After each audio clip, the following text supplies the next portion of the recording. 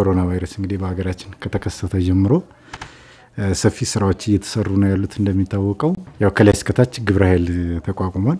ከዚህ አኳያ ብዙ ስራዎች የተሰሩ አሉ። የቤት ለቤት አሰሳ ላይ ሰርተናል። ስለዚህ በሰራንበት ወቅት ያው ሁሉንም ቤት ተደራሽ አድርገናል። ወደ አራት የሚሆኑ ናሙናዎችን ወስደን ነበር ከዚህ በፊት። እነዛ ናሙናዎችም negative ኮቪድ-19 አልተገኘም።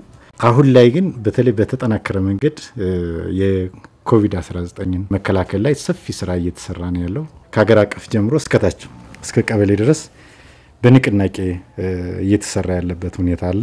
ኮሮና ቫይረስን ከሰው ወደ ሰው መተላለፍን መቆጣጠር መቀነስ የሚለው አንዱ ስትራቴጂ ነው።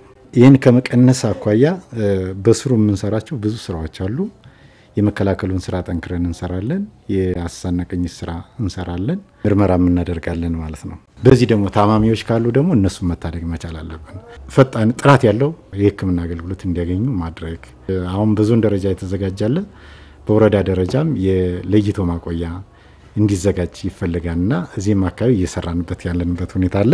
ቀጣይ ስርጭቱ በጣም የሚጨምር ከሆነ እኛም ለይቶ ማቆያ ቴክኒክና ሙያውን መርጠን ግዥ እየገዛን ነው ያለ ነው። የፍራሽ ሌሎች የንጽህና መጠበቂያዎችን ባለሙያዎችን በማሟላት ግብዓቶችን ለማሟላት ከዚህ አኳያም ስራ እየተሰራ ያለበት ሁኔታ ነው ያለው። በጤና ጣቢያ ደረጃ ሊሆን ይችላል። በሆስፒታል ደረጃ መሰረታዊ የጤና አገልግሎት ሳይቆራረጡ መቀጠል መቻል አለባቸው። የእናቶችና ህጻናት ጤና በተሻለ ሁኔታ መሰራት መቻል አለበት። ተላላፊ በሽታዎችን ከመከላከል አኳያ ጠንክረን መስራት አለብን። ወባ፣ ቲቢ፣ ኤች አይቪ እነዚህንም በጣም በጠነከረ መንገድ መሰረታዊ የጤና አገልግሎቱን ማስቀጠል መቻል አለብን። በላቀ የመንግስት ቁርጠኝነትና የሁሉም አካላት ርብርብ ሁሉም አመራር ትርጉም ሰጥቶ ይህንን ዘመቻ ያው በሳምንት ሶስት ጊዜ እንዲገመገም ነው የተቀመጠው። በአጠቃላይ ባሉ በወረዳችን ቀበሌዎች 63 ቡድን ተዋቅሮ የቤት ለቤት አሳና ቅኝት ይደረጋል። ኮቪድ-19ን ከመከላከል አኳያ በቤተሰብ ደረጃ ግንዛቤ ማስጨበጫ ትምህርት ይሰጣል። ስለዚህ እጃቸውን ከመታጠብ አኳያ፣ ማህበራዊ ርቀትን ከመጠበቅ አኳያ መከላከያና መተላለፊያ መንገዶች ላይ ትኩረት አድርገው ግንዛቤ እንዲኖራቸው በቤተሰብ ደረጃ የማስተማር ስራ ይሰራል ማለት ነው። ኮቪድ ተጠርጣሪ የሆኑ በተለይ ዋና ዋና የምንላቸው ምልክቶች አሉ። በነዛ ምልክቶች መሰረት ተጠርጣሪ የሆኑት ተለይተው ምርመራ ይደረግላቸዋል ማለት ነው። ኬዙን ለይተው ወደሚመለከተው ክፍል ከማስተላለፍ ማኳያ የሰለጠኑ ባለሙያዎች አሉ። እነሱ ይህንን በጤና ጣቢያ ደረጃ ይሰራሉ ማለት ነው። ስለዚህ ናሙና ምርመራ አሁን እየሰራን ያለ ነው። በተለይ ተጋላጭ በሆኑ አካባቢዎች ላይ በጤና ተቋም፣ በተንቀሳቃሽ በመናኸሪያ አሁን ላይ ሁለት መቶ ናሙናዎችን ወስደናል።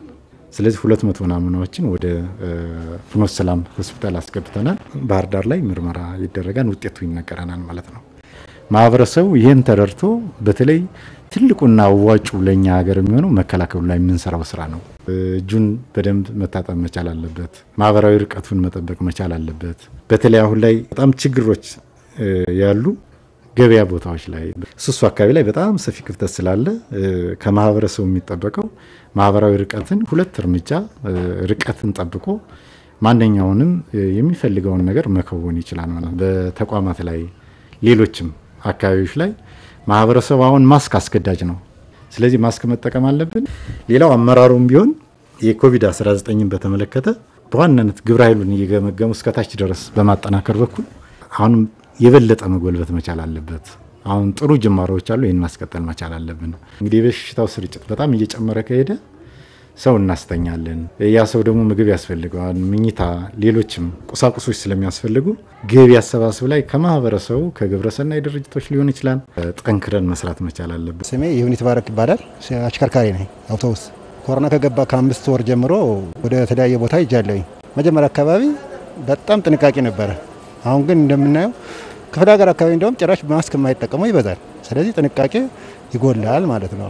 በብዛት የሚደረገው አሁን ትራንስፖርት ላይ ነው። አሁን ጥንቃቄ ያለው ያው ሕጉም ስለሚያስገድድ ትራንስፖርት ላይ ማንኛውም ሰው ማስክ ሳያደርግ መሳፈርም አይችልም። በዚህ ምክንያት ትራንስፖርት ላይ የተወሰነ ጥንቃቄ አለ። ይሄ በየቦታው ላይ እንደውም ቢኖር ጥሩ ነው። ምክንያቱም ሄደህ ለመመርመር አትችልም ቦታው ድረስ ሄደህ። ስለዚህ እኛ በተለይ ከተለያየ ቦታ ስለምንንቀሳቀስ እንደዚህ አይነት አጋጣሚዎች ለእኛ ጥሩ ናቸው። ራሳችንን ለማወቅ ራሳችንን ብለን ቤተሰባችንን ሀገራችንን ለመከላከል ጠቃሚ ነው ብዬ ነው የማስበው። ይሄ ያው ህብረተሰቡ ለራሱ ሲል ለወገኑ ሲል ራሱን ጥንቃቄ እንዲያደርግ ነው የምመክረው። በእርግጥ አንዳንድ ቦታ ህብረተሰቡ እየተዘናጋ ነው። እውነት ለመናገር ግን ሁላችንም ተጠንቅቀን የራሳችን ድርሻ ብንወጣ ያው እንወጣዋለን ብዬ አስባለሁ። እንደኔ ያሰ አዲስ አበባ ሁሉም የአፍ ማክስ እየተጠቀመ ነው የሚሄድ። እዚህ ግን እንደምናየው ሁሉም ሰው ማክስ እየተጠቀመ አይደለም። ቢጠቀሙ ደግሞ የተሻለ ነው የሚጠቀም ነው እንጂ የሚጎዳ ነገር ስላልሆነ ሁላችንም ጥንቃቄ ብናደርግ አሪፍ ነው ብዬ ነው የማስበው። እኔ ለምሳሌ ዛሬ ከአዲስ አበባ ነው የመጣሁኝ፣ ግን ከዛ ይዤ የምመጣው ነገር አልታወቅም።